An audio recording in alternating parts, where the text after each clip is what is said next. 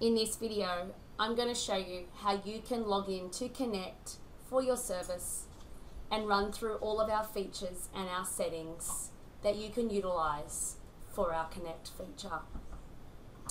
Let's get started. So first you're going to need your login pin and that's located under your Konnect settings. You will then see your login pin. So we suggest writing this down somewhere safe, but don't worry, if you do lose it or forget it, you can always come back to your Kidsoft settings and locate this login pin. This login pin is then entered in as the service pin when you enter the URL for Konnect.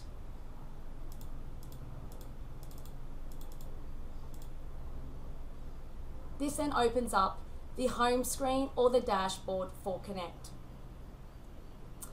Switching back to our Konnect settings, some of our features that you can enable for Konnect are our bus sign in and out. So this allows a service to use uh, the bus feature electronically and sign children in and out of the bus. So this is good for our OSH services. Um, our security clearance feature, so when this is enabled, it allows you to set up a security clearance for your closing staff members uh, that will be closing up your service. Other features are our visitor log. So if this feature is enabled, it allows a visitor uh, to come in and sign in and out electronically. And this will always generate on a report in Kidsoft. You also have some vi visitor terms and conditions that you can update and modify. We have our QR code. So when this feature is enabled and it's on the Guardian login screen, you will see a QR code on the left hand side. So this allows a Guardian to use their own device and by using the QR code allows them to sign their child in and out on their own device. This is also available on a QR code report inside of Kidsoft. And you can also set an expiry for that QR code.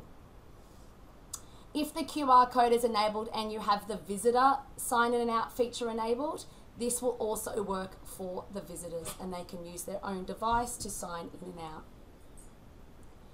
We also have the Guardian communication, so when this feature is enabled, you can send messages through to specific guardians um, and allows them to sign in and out in Konnect and receive those messages.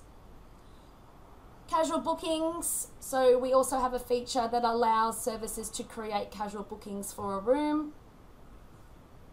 And our roll call. So this comes in handy when you want to do a head count, uh, making sure that you've got the correct number of children uh, that are signed in or have left the service for the day.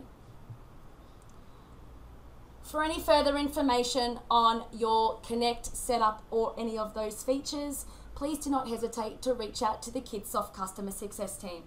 You may also like to look at our additional video tutorials in our YouTube channel for more tips on Kidsoft. Thank you.